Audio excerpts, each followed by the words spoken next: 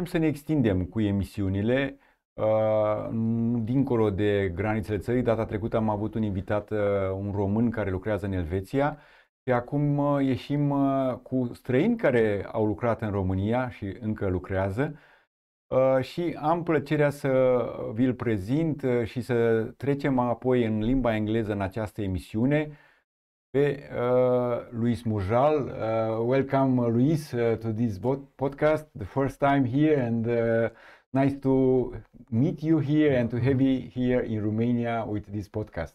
Welcome. Thank you very much, Cornel. It's a pleasure to me. So, if you can say something about your experience, I met you with Camusat. You are working with Camusat, very wide experience. Mm -hmm. uh, but even if you are not a telecom engineer, it's interesting how you come or how you came to work in uh, telecommunication with fiber optic. Maybe you can tell a little bit short history about your experience. How yeah. did you work with fiber optic? Yes, yes, yes. So it's uh, very interesting indeed. As you said, uh, I'm not engineer uh, for uh, as my, for my nature. So I'm an architect, uh, construction architect, I would say. Um, then I start on fiber optic with the first uh, FTTH project uh, in Portugal for Portugal Telecom.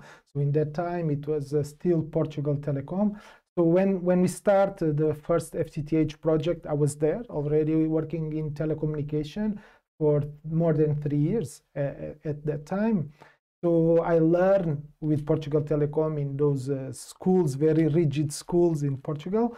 Very um, rigid. Why you say very rigid? We say that also Romania has rigid schools. So you said Portugal has rigid schools now because you know also Romania. Yeah, yeah, but um, Portugal Telecom, it's at that time it was still governmental uh, company, you know. So it's a kind of old-fashioned school. So there is a kind of um, uh, Silicon Valley, if you want, of, of telecommunication in, in, in a, a certain city in Portugal. This is where we start learning the network architecture for FTTH.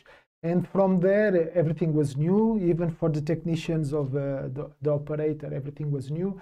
I start liking uh, the, um, the project itself. It's a national project, um, the booming of the fiber. So we start survey, design, implementation. We learn all together, uh, operator, subcontractor. I was a subcontractor in when that time. When it was this, Luis? It was uh, what uh, almost 20 years ago 18 years ago if i'm not wrong. It's when we started long time. yeah, yeah yeah exactly. So um, then from there we um, we implement the networks in portugal the first ones. Then it comes of um, uh, vodafone. It was the next one. It was also new for vodafone and uh, they did the first trial of ftth in portugal I was with them as well in that time. So Portugal Telecom, then Vodafone. So it was kind of interesting.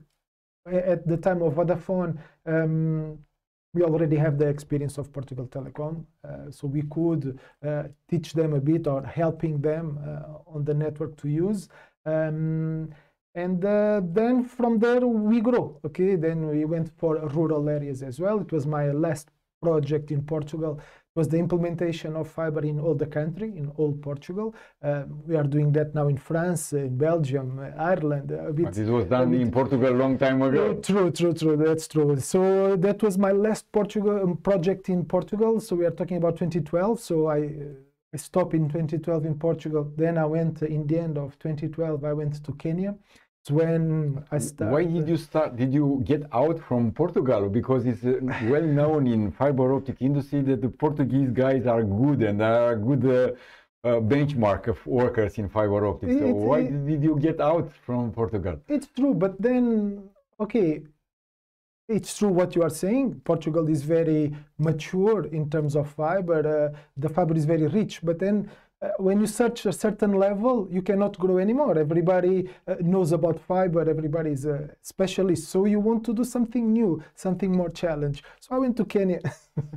there is no fiber there. I mean, everything is new. Uh, technology is new. Uh, cultural is new. I mean, uh, so it's it was a big challenge for me. Very interesting one. Mm -hmm. So in Africa, in Kenya, how long you stayed? How did you came to Romania? Yeah, so uh, in, in Kenya, so in the end of 2012, I stayed almost uh, for six years um, uh, in, in Kenya.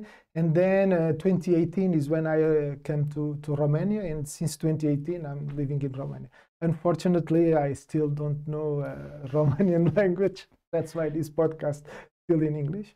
But um, yeah, so I'm working, I'm based now in Romania indeed, but uh, working mainly to Africa still, uh, in African countries. Yeah, because it's with uh, Camusat, you are working here for the network design. Yeah, mm -hmm. if you can say something about your work, mm -hmm. like uh, in Camusat, which is a company with uh, 30 branches, if I'm not wrong. Or yes, yes, yes, more. close, close to 30, close to 30. Yes, yes, yes mainly in Africa. So we have our branches mainly in Africa, um, close to 30 branches indeed.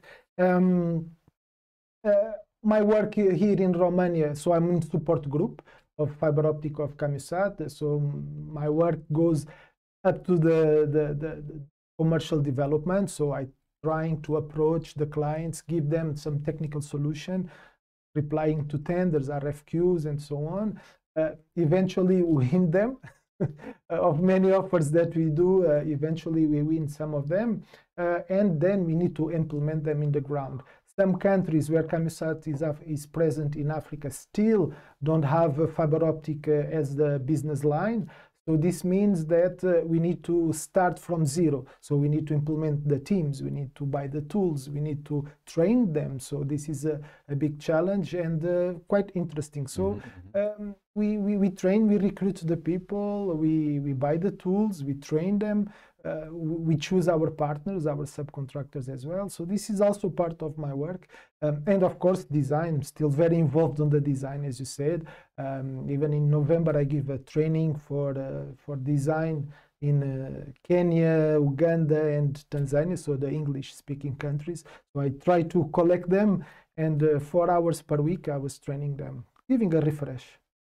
Very good, very good. So it's your activities are not only mm-hmm. related to the fiber optic network design, but also mm-hmm. to the organization. True. It's uh, like uh, organization of doing all the activities. Correct, correct. Uh, what type of projects are you doing? Fiber to the home or uh, point to point? Mm-hmm. Uh, what type of projects uh, are you dealing with? Yeah, very interesting question. Okay, it's still a bit of everything. Uh, the FTTH at this moment, I would say in Africa, decrease a little bit. Um, and it goes back again to backbones. So we are deploying again backbones and more and more it's FTTS, fiber to the site. So it means that the uh, we are really going for 5G direction, preparing the GSM sites with fiber uh, as much as we can. So this is one of the major projects we have, uh, and it will be a long-term future. It will be FTTS. Yeah. Is uh, fiber to the antenna also it because uh, as we know Camusat has uh, plenty towers let's mm -hmm. say what is new in fiber optic to the antenna in practice for the moment it's still fiber to the site uh, fiber to the antenna probably it will come uh, in in the future a complement i would say uh, to fttH to be honest um, but uh, it's still fiber to the site. It doesn't mean antenna really. Uh, so we still go to a BTS, we still go to a router, let, us put it that way. And in, from that router, the clients can go to FTTH, can go to a point-to-point. -point, uh, so, but still on the site. And one of the trends that it will happen is the TowerCos to, to put fiber as well. So this is something that is coming now. So like the TowerCos that they to use to install fiber by themselves. That's correct. That's correct. So it's one of the service that TowerCos want to uh, to provide to their clients is not only the site, is not only a, a tower uh, to install the antenna, but also provide the, the capacity for fiber. Like the backbone uh, connection. True, true, mm -hmm, true. Mm -hmm. So the operator now has all the infrastructure ready. So it just come with antenna, capacity, uh, and that's it. Everything is available. Perfect. I'm very glad that you mentioned about this because I just wanted to ask you about your large experience in international, let's say, countries we are speaking about the network design where you have more experience. So, mm -hmm. what you see common in different countries where you work in Portugal, in Romania, in Kenya, and what you see different from countries to countries? okay, in terms of design, uh, well, in Europe, I would say it's much more developed than in Africa. Still today, uh, that is the trend. Um, it's uh, So it's AutoCAD design versus uh, SCG or, or, or GIS softwares, yes. right?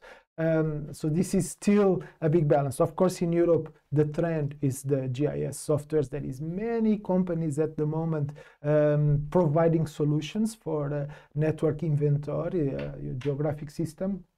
Uh, and do you see one solution which is more, let's say, advanced than the other solution for GIS, or there are some, all of them in the same level?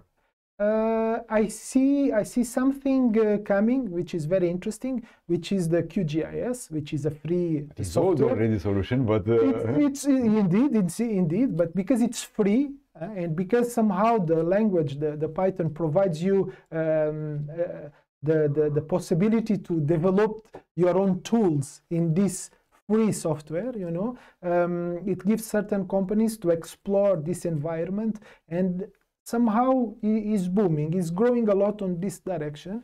Uh, I know that even some companies are developing in top of QGIS and they are selling their software in top of this, you know, so which, which is kind of interesting. Um, it's not just a specific tool, so you can integrate, uh, okay, you have a company, you develop the software, you use it, but the, the, the, format of, the, of that uh, file or the, the format of that information can be used on the next uh, uh, office or the next partner which doesn't have the software but you can read. It's a freeware which is very interesting. Because it's a question for example for some of the people who are watching us uh, if for example they want to start a company and to do the works as a contractor. So it's a question about the network design. Who and how will do the network design? Okay, one option is that they will receive it from the client, from the customer, operator. Mm-hmm. Usually they are doing the design, mm-hmm. one side. Or the second option is to do by themselves. So mm-hmm. if you will be uh, one of the new fresh contractors, so which design tool will you use and to give an advice for those who are watching us today? As a contractor, I still defend a lot of uh, AutoCAD, right? Um, as an operator, you need a GIS tool. Uh, you need a, a, geographic inventory system uh, tool. The geographic inventory system is exactly for you to have a database of your network. You need a database. Now, one of the things that it's a bit uh, a concern, in, in my view, in Europe, we are using a lot of uh, GIS, GIS, uh, but to deploy the network, which are we are continuous forgetting this. To deploy a network, we cannot use these uh, geographic tools, in my opinion. We need to do civil works, simple tasks as opening a trench, putting a manhole, for mm-hmm. example. Uh, you need detailed design. Even for a city council point of view, you cannot go with just a, a GIS design I want to I want to make uh, the permit for this. You cannot do that anymore. You still need AutoCAD. You need measurements. You need uh, points of reference. Uh, you know coordinates. You see, it's like both, but there are solutions which they can uh, have in one or complete, like. Uh, the WG, the AutoCAD files. They can export. They, they can, can export. export. Okay, they can export, but they can they present the details? You know the details that is needed for a city council to mm-hmm. to, to to do the permission. Uh, another thing um, let, us be face it ftth deployment we do it in on, on gis platform. Very nice. It's in a database. It's it's very easy to access it. But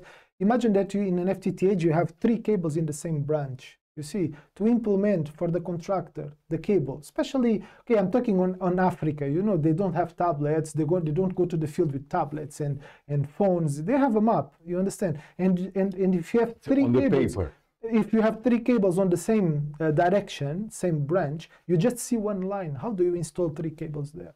You know you need special a lot of tagging uh, labeling. You don't have parallel cables. You, you, understand what i mean? So the representation of that design uh, in a point of view for construction and deployment on on a gis system it's quite complicated in my point of view. We still need a bit of autocad.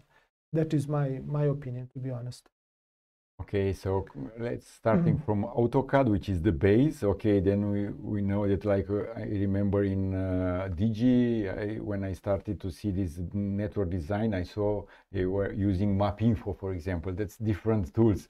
like uh, other company like Orange and Telecom, they were using uh, Smallworld. Small so world, yes. this is the General Electric uh, elephant, I can say, Mhm. in uh, network design, but it's too rigid. Maybe that is not so easy to make changes there. You are connected with some servers, some people who do the maintenance, libraries, and all these things. Yeah, yes, and there is something very important in my opinion uh, in, in Smallworlds. I mean, you do everything by hand. huh? Uh, I, we need uh, GIS systems that can design for you. Okay, you install the cable? But then it's the software need to calculate all the allocation, all the cores, all the splicing, the capacity of the cables. You see, uh, not not not the user, not the designer itself. You see, so we need more this, and there is many many solutions today um, that provide you this. So okay, you design the infrastructure. There is a pole. Uh, there is a uh, there is a pole. There is the the, the span. Let's say the the, the, way, the path, um, and the software can do it itself. Even today, there is softwares that even they give you they, they produce the infrastructure itself. They just need to know where is the house, and they design the path because they can detect the roads and the houses. It's Because you said, I'm glad that you said this, Luis. It's a, like a ideal, like a target to have a tool to make automatic design. So uh, not to do anything. Yeah. So uh, the question is like I saw some vendors who are promoting Yeah. automatic design, but this is automatic design is a certain level. So what you can tell to the people who are watching us and how to uh, to understand that the limit between what the vendor is saying, what the technical limits are.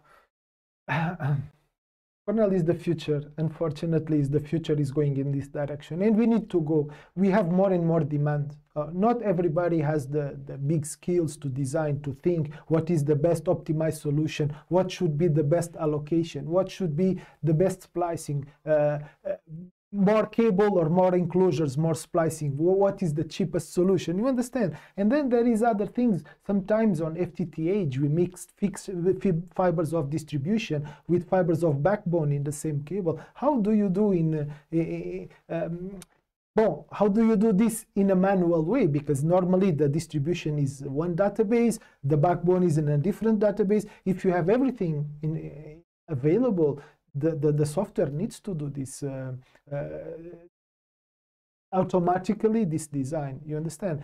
More and more, um, because the demand is so big, we cannot have uh, or we don't have so many skilled person to do this uh, these designs uh, you know so we need really computers and software to make it the demand is huge today so we need this kind of software So, as a tips and tricks of from your experience in network design, what are the most common mistakes in design? What you experience in the field in this 18, 20 years of experience? yeah that is a bit tricky because it's always up and down right now i'm facing a, a- challenge uh, in my in my design departments uh, in africa especially in africa because they are using AutoCAD and then the client is using a kind of a Smallworld. Uh, it's not a Smallworld, it's Connect Master, so it's another GIS solution. And then the integration of all these uh, systems and different systems, it makes that uh, you create a BOQ in AutoCAD, but then the software gives you a different BOQ, and then the implementation is still different. So to integrate all this, you know, i- it's quite complicated. So because in AutoCAD design, you make maybe a survey and a high-level design, a- and we, we make it with um, 20 poles, but then in Connect Master, you, it, it's there 21, but then in reality on the field, you needed 23 poles. So it's it's complicated as built uh, um, uh, in this sense, you know. Um, there is still problems on the splicing diagram sometimes, you know, especially when you have again the human error. So we need really uh, automatic uh, GIS systems to avoid this error on the splicing uh, splicing diagrams. You don't want to have to reach a splicing closure, and the technicians they are on the field with a lot of pressure to deploy, uh, and there is mistakes there. So you should not have this. How often do you see the splicing uh, diagram mistakes in your experience? So it's something like uh, very often or rare? No, today today is, is becoming rare. Today is becoming rare. Today the, the mistakes are uh, as built and the information, the final uh, information that should be on the system. It's not really what it is on the ground. And this is the, the most complicated subject in top of the table. So we should make it uniform.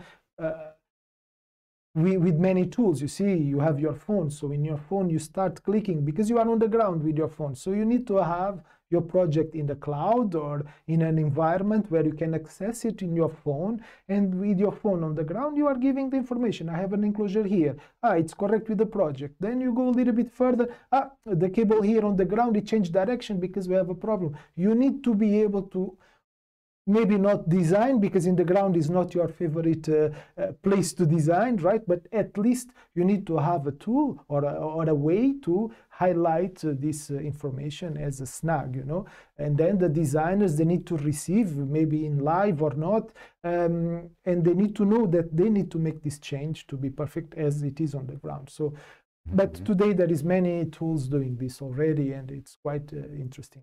You're thinking about increasing the speed. of design. So it's not, not only the design. Do you think the design is a work from the office or work from the site? Uh, I'm, a, I'm a design guy. I start with survey.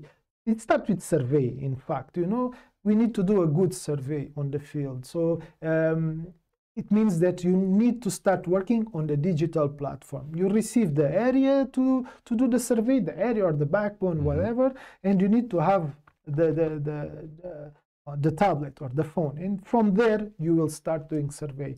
Then there must be this interactivity between okay on the office you create the project. Then the guy from the survey received the notification i have now to do a survey certain survey from point a to point b and i need to follow a certain route maybe because there is a kind of initial project isn't mm -hmm. it um, then you do your survey your highlights your pictures your points coordinates and you submit that survey in your in the office the designer receive an email or notification whatever. Okay the design is ready uh, so i can now start doing the detailed design isn't it?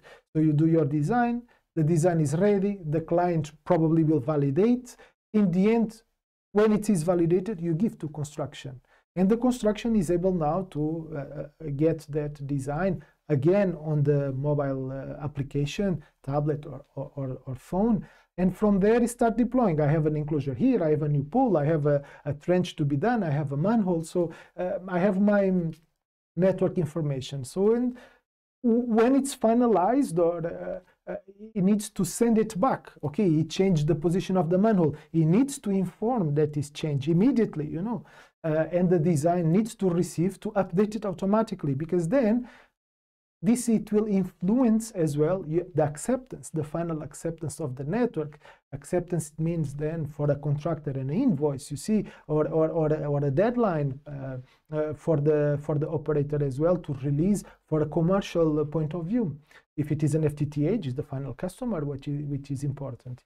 Yeah, because it's you said the acceptance. So how often you see the difference, or what is the difference from the design and from the execution up to the acceptance, as you said? Because it's in the rules or in the best practice, they said that like should not be more than 10% difference from the design to the practice. So what is your experience? What is the percentage? No, in Africa, still more than that. In Africa, still more than that. Uh, sometimes 20% difference, you know. Uh, what is the problem here? Perhaps survey was not done correctly you know. Perhaps uh, survey and then design you know it was done by two different people. The designer did not understand what the survey wants to do. Uh, the survey also probably it was not the most experienced and did not uh, oversee a certain uh, problem happening you know. There is problem with permitting and he did not understand this uh, permitting problem. Uh, there is a private person i don't want my cable to go through here. So in africa still the people they are not so much sensitive sensitized to fiber optic networks passing in front of your uh, of your building of your house you see so there is certain issues still uh, in africa so in i would say 20% it's quite normal it's quite normal in yes, africa yes, what in yes, about romania because you worked also in Romania and in France. So what do you see the differences in Romania and France? Well, in France, uh, there is almost no change. Uh, in France, it's very accurate. Uh, the system the France, it's you spend a lot of time on the design, many time on the design, building your design, and many time it means months mm, building a design uh, with the permitting everything correctly. Uh, so in the construction, you just need to follow the design. There are not so many changes uh, uh, in, in France, I would say. In Romania, it's changing. It's changing for better. Uh, I believe that uh, Orange, it was one of the operators that start doing a very good FTTH design. I mean, uh, with the with the as-built documentation, mm -hmm. very well, uh, uh, very well accurate in a, in Smallworld, right? Uh, so I think this this work is being done very nice here in Romania, and the mindset is changing for the design because FTTH it's all about design no matter what and and you need to have it a database with this because if you want to do an extension tomorrow you cannot make it if you don't have the proper information mm-hmm. That's clear because you said about this some examples. So I would like to ask you what you see the biggest challenge in fiber optic works from your point of view. What, what is missing? What is the biggest problem? We miss the people, we miss the workforce, we miss the equipments, we miss the digitalization. What do you think is the biggest challenge presently in all the fiber optic works in every county where, wherever you work? Oh, I would say that uh, in Europe is the demand is huge today. The demand for fiber, uh, uh, all the countries now they are launching all at the same time. So there is um, big movements uh, in Europe um, in terms of fiber. Even even the, the, the production of the material itself uh, for Europe, it's it's kind of a problem, I would say. Um, but also there is a lot of opportunity. So many more, there is a big evolution on fiber. Many more companies are providing different products, which I would say it's not so bad. Uh, but uh, in terms of technician, in terms of labor, I mean, it's very difficult to find teams in Europe, I would say, you know. Uh, in Romania, for example, we find uh, an often problem to find teams that know how to work all the teams left left to germany left to left to uh, ireland mm-hmm. left to belgium isn't it so it's quite a, a problematic situation in terms of labor to find mm-hmm. skilled people um, uh, in africa uh, oh, it, it's a bit uh, the, the, the same problem the demand is quite big in africa still there is a, a huge spikes uh, of demand. Mm-hmm. Today, it's uh, everybody needs fiber, but tomorrow mm, there is not even budget for it. so it's difficult to maintain a certain level of business. Uh, I would say in Europe. In 2023, we see many. Um, I would say many operators without budget for fiber deployment. So it's quite tricky to keep the business in a in the same in a straight line. You know. Mm, yeah. And uh, maybe one of the last questions for today webcast is how do you see the future of fiber optic works? Because, for example, also speaking from the design point of view, in the past, the design is BOQ, bill of quantity. So, like you see for each item, you do the digging, you have a price. You did the splicing, you have a price. You install the fiber, you have a price per meter.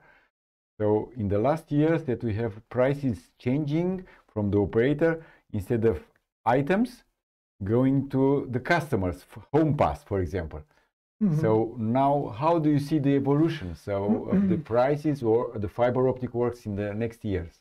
Uh, in terms of pricing in BOQ, uh, I see more in Africa um, item price list. Uh, unfortunately, you know, uh, because it was it start uh, having a, a lump sum fee or per meter of per home passed, depending if it is a backbone or, or if it is a, an FTTH network. So FTTH, you always have kind of a price depending of the density for home passed, you know, high density, low density, but there is kind of a, price for a, home pass, yeah. for home pass uh, with material, without material.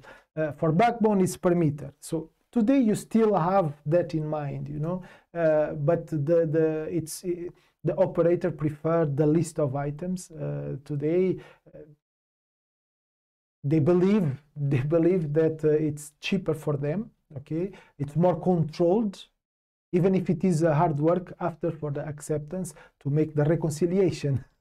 Uh, what it was in the initial BOQ and what you really did, you know. So this is still today a problem uh, to fix this. But uh, um, in a certain way, it's more controlled in terms of cost. So the OPEX, it's more, the CAPEX, I mean, it's more controlled, I would say. Um, uh, it's not so much in the air with the price per home passed. Uh, but in the end, with the reconciliation, it's much more difficult the home pass is more clear okay how many you deploy this is what you receive ma'am. or per meter you you deploy this per meter this is what you receive it's more comfortable in the end of the day but um, it's for both sides very clear for the client and for the uh, worker constructor yes yes yes it's clear it's clear it's what about the last question for you today, Luis? Is about what do you see the biggest innovation in fiber optic today or in the last two years? What you saw, the biggest innovation in fiber optic works. What is from your point of view? In the last years, um, well, the the the, the, the um, active equipments, you know, the OLTs, the bandwidth, uh, you know, before eh, you would see I need a 288 core cable. For sure, I need this cable because I will have in the future something will grow, uh, maybe a new building, a new company, and I need a lot of spare fibers. Today, with the technology, with the OLTs, now with the 10 gigabytes, and it will be even higher than that, you don't need anymore. You know, you can do a ratio of 128 instead of 164, isn't it? Mm -hmm. So mm-hmm. before 1.64, today with uh, such a big bandwidth, we can do uh, 128, uh, and it's not that complicated. So um, for me, the biggest evolution is in terms of the active equipments, and it makes sense. The fiber is still there there is not so much evolution. Uh, I would Maybe say splitter. Huh? This is related the active equipment with the splitter. The, the splitting level it will be different if you have more power on the OLT on the active equipment itself. You know you can uh, do a different uh, multiplexing uh, network. You know you can subdivide it in a different way uh, in a ratio of 128, which is uh, quite quite interesting instead of the traditional uh, 1 by 64. but um, yes, so I would say that. And Huawei came with a certain technology uh, regarding the architecture with some unbalanced splitters as well. This is a trend that uh, the operator is not yet picking up uh, nicely. Um, I don't know what it will come from there. Uh, there is a lot of tests in this kind of brand new uh, network architecture, but uh, I don't know. However, they bring this um, simplicity of the network plug and play, which is very interesting as well on the FTTH. You know, you don't need to splice it anymore. And uh, well, uh, I mean, it's kind of fishy, still under under still under under, under, under development. Under and, uh, development okay, and yeah, yes, yes, yes. Thank you, Luis. So then we'll make uh, that something like uh, to announce to the, our viewers uh, that we'll have only one month to go till we'll launch the first fiber optic museum in the world. So uh, on 11th of May will be the official launching on, for the specialist and the conference of uh, Romanian Fiber Optic Conference. Uh, also, I'm inviting you to this conference Thank and so much, all the specialists are uh, welcome. And uh, in this uh, fiber optic museum in the premiere, I will inform you that we will have like a museum for the old times. Like uh, this is a sample what we have here from Alcatel, this submarine cable, which is uh, only with some fibers. You see here 12 fibers. Also we have with four fibers for submarine. We'll see the past, the evolution of fiber optic, but also we see the future. For example, we will see something like an education part, we will see how could be the fiber like we have uh, now under construction this type what is fiber is with core and uh, cladding and we see that core is hollow core. So that's not solid core. We can place and uh, we can uh, see how the future will uh, evolve in the next years. We are waiting for you for this fiber optic museum. We see uh, also a, a place of history of laser we will see, we will find the first laser in Romania built in 1952. So a long time ago. Is related also with uh, fiber optic, is light, it's about history, but it's fiber optic experience. So we are glad here to share this type of experience. Thank you, Luis, for coming here. I will uh, switch also to a short conclusion in Romanian. Astăzi l-am avut invitat pe Luis Mujal, cu multă experiență internațională. Ne-a prezentat din experiența lui ce lucrări a făcut prin alte țări, lucrurile comune, a văzut partea de proiectare care oscilează între uh, tooluri de proiectare AutoCAD, de exemplu, pentru autorități, dar cu toolurile pentru uh, efectiv de proiectare care sunt necesare să fie în GIS, în uh, coordonate sistem informațional geografic și ne-a spus din uh, experiența lui uh, de prin mai multe țări, în special din Africa, dar și în România și Franța, diferența între proiectare aproape de zero în Franța, în România un pic, chiar în, Fran- în țările din Africa spre 20% și din experiența lui uh, ne-a spus că viitorul uh, sau evoluția, inovația pe care o vede el cea mai mare pe lucrări de fibră optică este legată de creșterea vitezei, cum am ajuns la 10 giga, de exemplu, acum, care se folosește, este splitere 1 la 128, deci este uh, legată de OLT-uri și fiind evoluția cea mai mare în acest moment. Sigur că uh, vă invit să îl ascultați în engleză în continuare și în același timp vă mulțumesc pentru atenția în acest podcast. Vă invit uh, săptămâna viitoare, vom continua cu încă un invitat uh, extern în limba engleză. Pe curând, sunt Cornel Bărbuț și vă spun la revedere!